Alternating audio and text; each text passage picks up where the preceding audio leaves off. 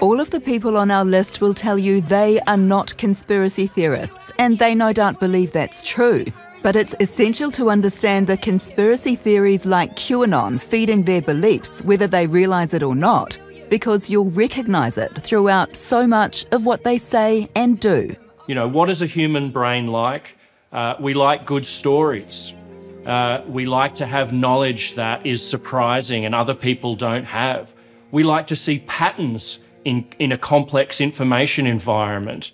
And we like to go on scavenger hunts where we pick up clues. And when we have opinions, we like to connect to other people who share those opinions. This is the things that, that our human brains love doing. And what is that describing? That's describing exactly how a conspiracy like QAnon works.